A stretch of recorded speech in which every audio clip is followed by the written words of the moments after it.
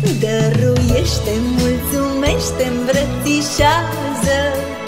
Împreună voia bună-i tot ce contează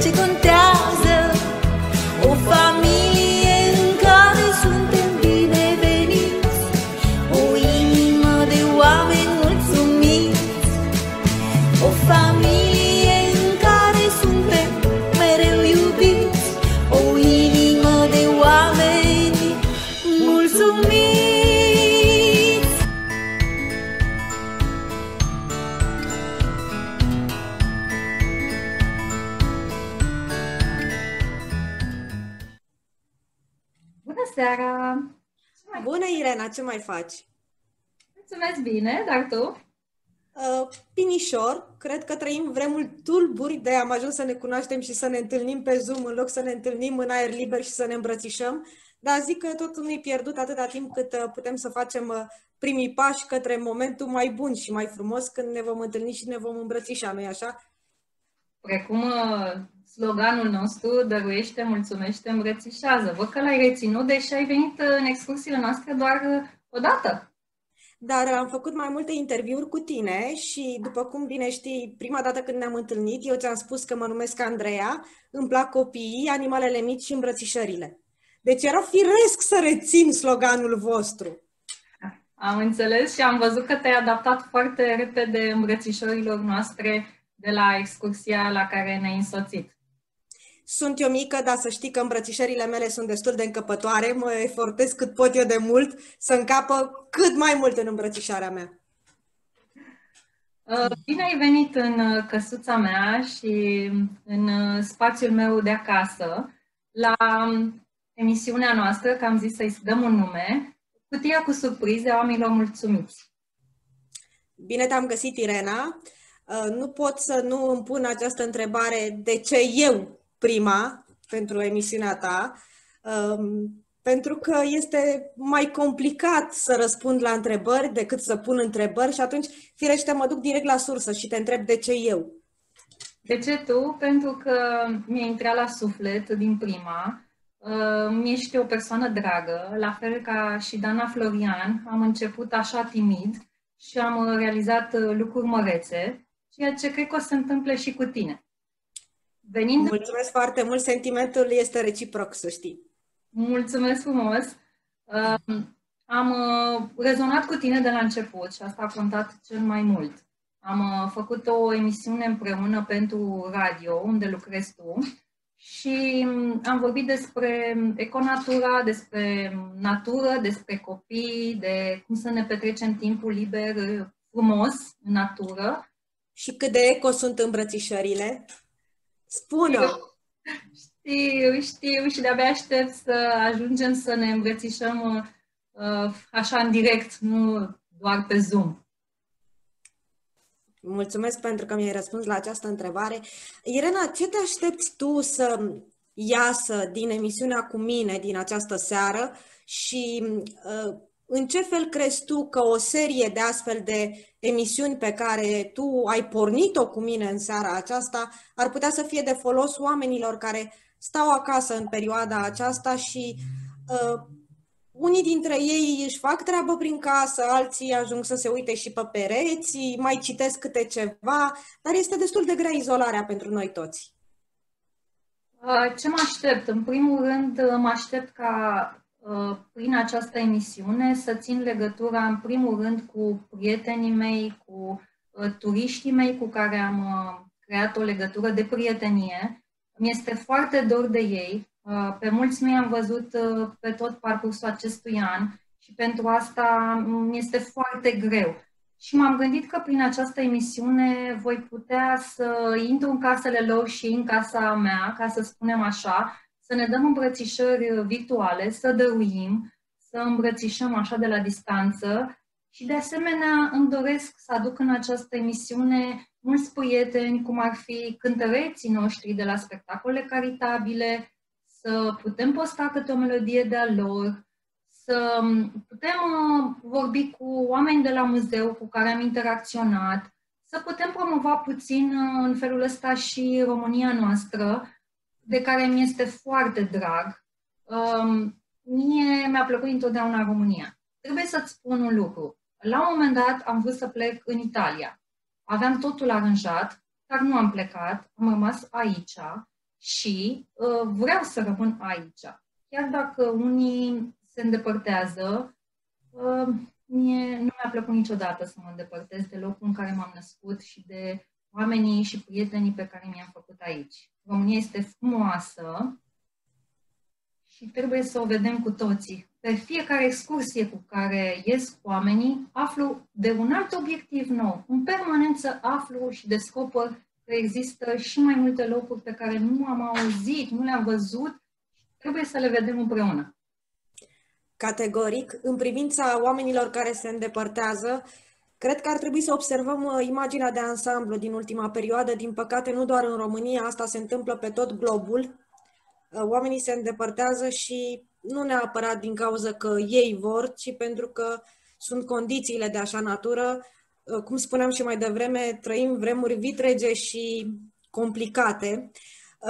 Irena, toate începuturile tale, pentru că noi am mai discutat și cu altă ocazie, au fost niște semințe pentru niște copaci uriași, foarte bogați, cu ramuri foarte bogate și foarte sănătoase. Um, dar um, probabil că unii dintre cei apropiați uh, ție ar vrea să-și amintească. Ai început cu agenția, pe urmă cu spectacolele caritabile, acum ai început cu această serie de emisiuni. Um, vezi cumva vreo asemănare între toate aceste începuturi? Trebuie să-ți spun uh, un lucru. Întotdeauna mi-am dorit să fiu asistentă medicală, să dăruiesc uh, oamenilor din, uh, ce să, cum să mă exprim, din sănătatea mea, să-i ajut, să uh, îi sprijin la nevoie. Deci asta mi-am dorit întotdeauna și asta am făcut timp de 18 ani. La un moment dat, uh, fără să mă gândesc și fără să realizez, drumul meu s-a schimbat. Așa a avut Doamne, Doamne. Am uh, făcut o școală de ghizi și pe nepusă masă am făcut o excursie pilot. Iar de acolo m-a luat valul. Am deschis o agenție de turism foarte repede și am început activitatea asta de turism, care m-a fascinat foarte mult și mi-am dat seama, cum apare scris și pe blog, că am trecut de la asistentă de trup la asistentă de suflete.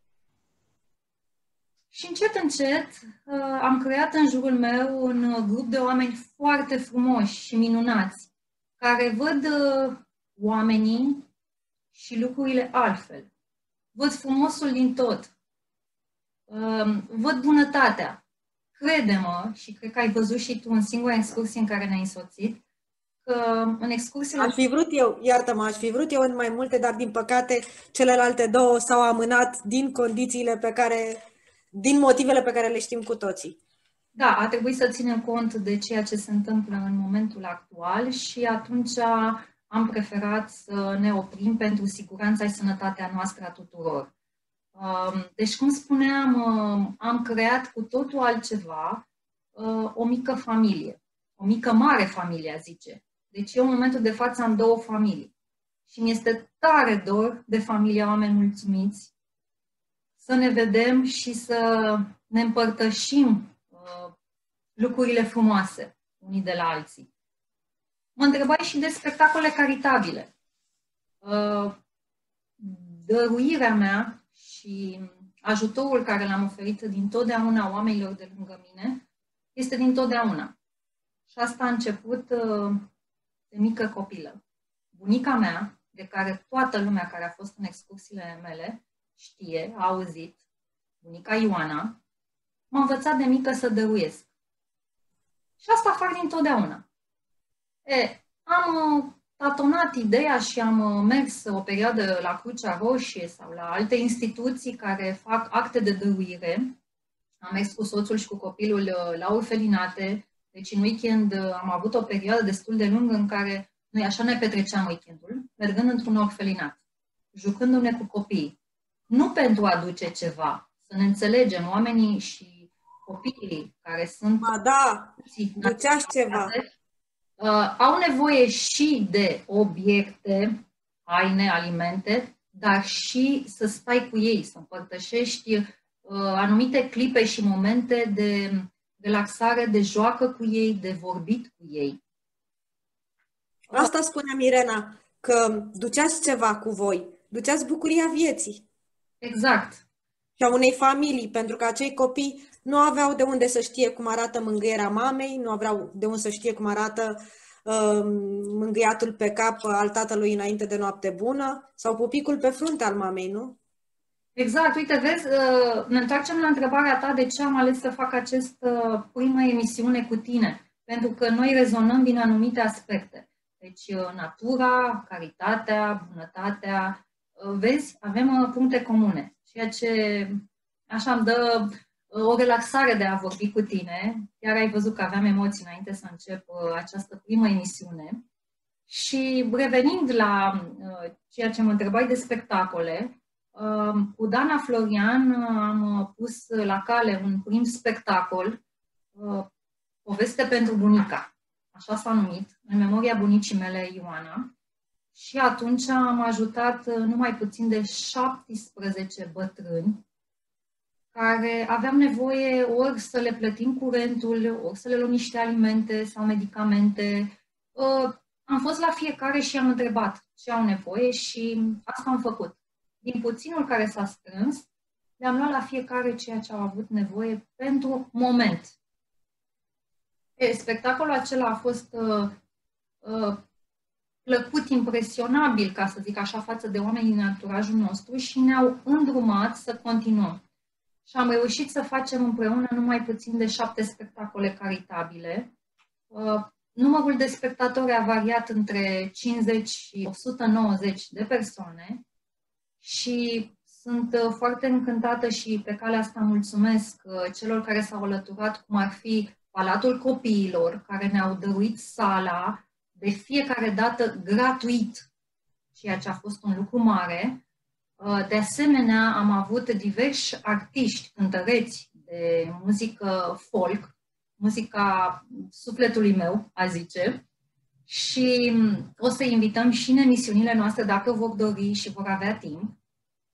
Iar de asemenea, un alt uh, sponsor care a fost alături de noi de la început a fost uh, firma Boromir, cărora tot așa le mulțumesc pe calea asta, pentru că ne-au susținut din puținul lor acolo s-au alăturat și ne-au dat o mână de ajutor. Ce faci? Respiri ușurată acum?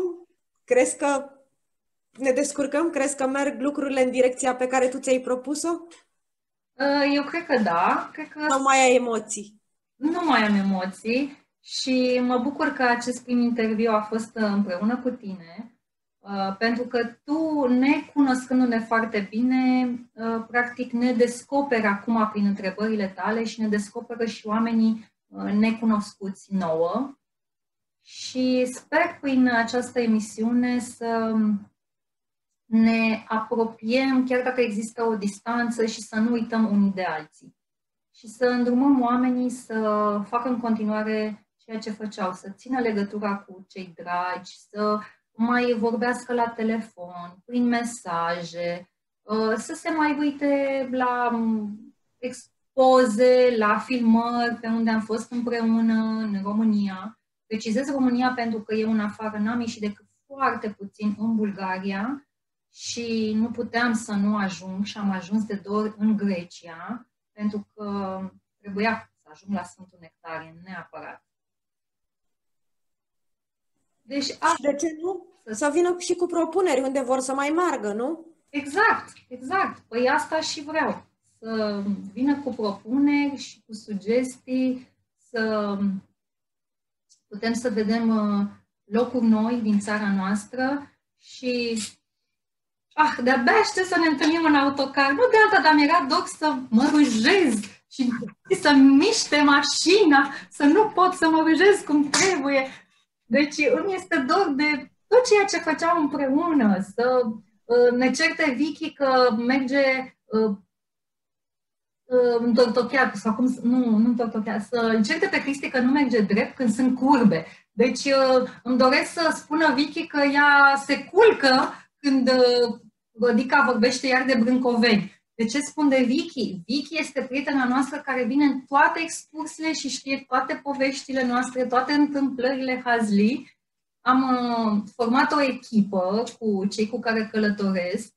Uh, ghida mea este doamna Rodica Raspopa, o doamnă extraordinară care știe foarte multe povești și uh, lucruri uh, și întâmplări despre sfinți, despre mănăstiri, iubește brâncovenii și cealaltă parte a echipei, a zice, este Cristi Felecanu, care este reprezentantul firmei de transport Anelis.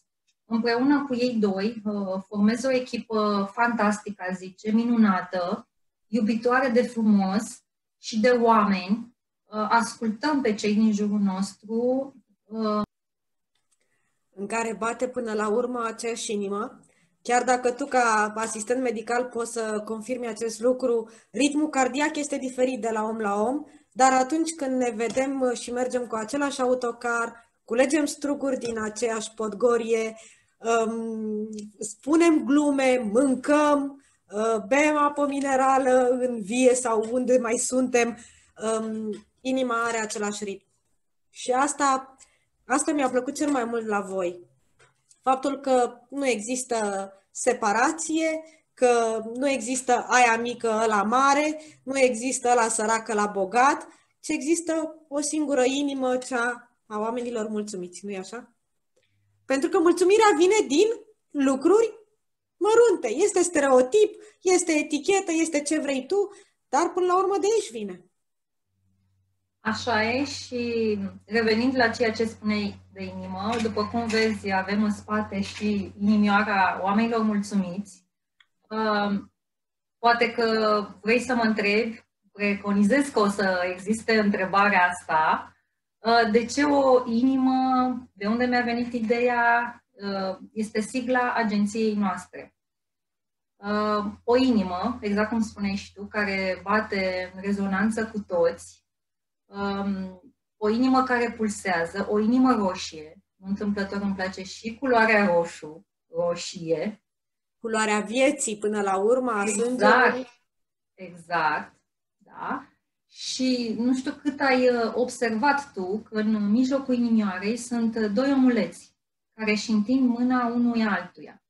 Deci uh, asta se interpretează cumva um, cei care pot întind mâna celor care au o nevoie și nu, numai, uh, nu ne referim numai la ceva material. O vorbă, o îmbrățișare, un zâmbet. De aceea există și uh, prietenul secret în excursiile noastre uneori, în care ne dăruim foarte multe lucruri de genul ăsta, nu material. Și oamenii sunt foarte încântați de lucrul ăsta. Uite, pentru că mi-a adus aminte de ceva și că oarecum ne învârtim în cerc, aș vrea să împărtășesc uh, și cu tine și cu cei care vizionează acest filmuleț um, care este avantajul uriaș al îmbrățișării. Într-o îmbrățișare, nimeni nu pierde, nimeni nu câștigă. Într-o îmbrățișare, nimeni nu oferă, nimeni nu primește. Într-o îmbrățișare, toată lumea oferă și toată lumea primește. Toată lumea câștigă și nimeni nu pierde. O îmbrățișare pentru a fi numită îmbrățișare trebuie să dureze minimum 9 secunde. Să știi că asta o simt întotdeauna. Când îmbrățișez, se face un schimb de energie pozitivă. Eu personal mă încarc foarte mult cu îmbrățișările. Tu nu simți același lucru? O, ba da, la radio foarte mult timp eram aia mică de are nevoie de îmbrățișări. Am reușit în 20 de ani de radio să îi obișnesc pe toți când eu treceam pe culoar. Ia uite pe aia mică, hai vină încoa. Deci uh, lucrurile sunt foarte clare acolo și cumva nu m-am simțit uh, chiar în largul meu în toată perioada asta de pandemie când m-am dus la radio și trebuia, era firesc că trebuie să stau departe de ei. Deși toți cam știau ce trebuie să se întâmple când se întâlnesc cu mine. Pentru că, așa cum spuneam, toți câștigăm dintr-o îmbrățișare. Este, dacă vrei, um, întoarcerea la momentul cel mai delicat din viața noastră și cel mai fragil, dar cel mai delicat, de când eram bebeluș și eram ținuți în brațe de mama. Nu? Atunci primeam îmbrățișare și protecție de la mamă, iar noi ofeream energie, căldură, vitalitate, poftă de viață și bucurie de viață. Nimeni nu câștiga, nimeni nu pierdea, toată lumea era uh, bucuroasă și toată lumea pot să spun că primea premiul uh, bine meritat atunci cel oferit uh, de viață, cu siguranță. Și aș mai vrea să-ți mai spun, apropo de tot jocul ăsta de cuvinte al nostru, de primit și uh, dăruit, uh, oferit uh, și așa mai departe. Uh, știu că noi două am mai vorbit despre uh, acest subiect odată, dar nu pot să trec peste uh, momentul cu pricina, momentul de acum, fără să le reamintesc și celor de acasă că există o carte senzațională, nu vă așteptați să fie comedie care să vă aducă zâmbetul pe buze sau râsul în hohote. Nu vă așteptați să fie o carte polițistă care să vă țină mintea în priză. Nu vă așteptați să fie o carte de dragoste care să vă umple de endorfine și să vă aducă starea de bine. Este pur și simplu o carte, aș numi-o și filozofică, și uh, psihologică, și religioasă în același timp. Uh, Jurnalul Fericirii al părintelui Nicolae Steinhardt, care se încheie așa. Iubind dăruiești, dăruind primești. Excelent! Și eu asta am făcut venind cumva la tine și făcând primul interviu și pe urmă celelalte interviuri, venind cu voi în excursie, asta am făcut. N-am făcut altceva decât să vin cu inima deschisă și am primit. Am primit iubire, am primit uh, cuvinte frumoase, am primit o stare de bine, da, și consider acum, la vârsta asta, că mare dreptate avea părintele Nicolae Steinhardt. Da. Deci mă bucur că am avut o primă întâlnire frumoasă cu tine. Și sper, sper să fie frumoasă. Pentru mine a fost frumoasă. Și sper să placă și oamenilor ideea mea de a ne întâlni cu câte cineva, măcar o dată pe săptămână.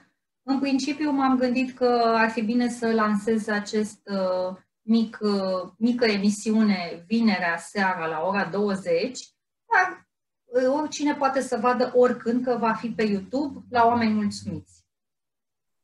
Mulțumesc, mulțumesc. Andreea! Să ne mulțumesc foarte mult pentru invitație, Irena, și zic la cât mai multe astfel de proiecte frumoase care să aducă zâmbetul pe buze oamenilor și să le aducă un plus de mulțumire chiar și într-o perioadă atât de dificilă ca aceasta. Da, Doamne ajută! Mulțumesc și o seară bună! Seară frumoasă!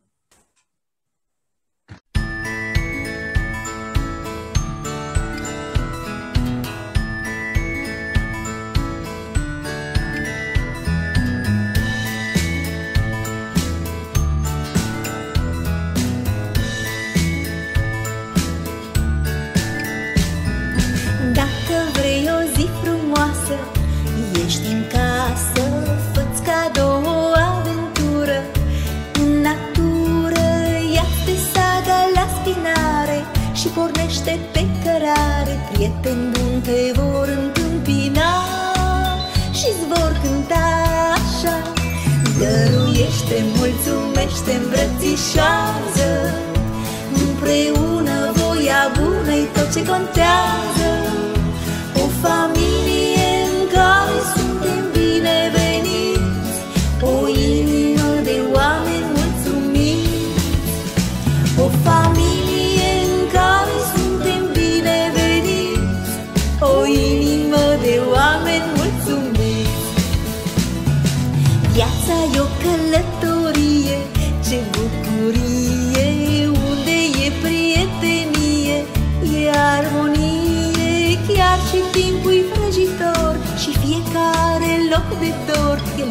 loc de dor El îl pictează noi cu loj așa.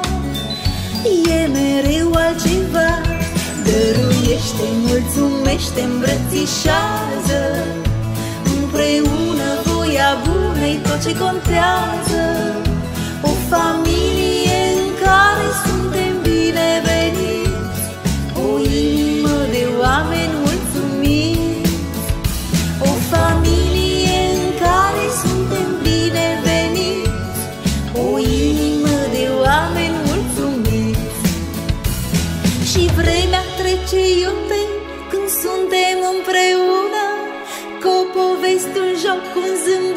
zâmbet și o faptă bună.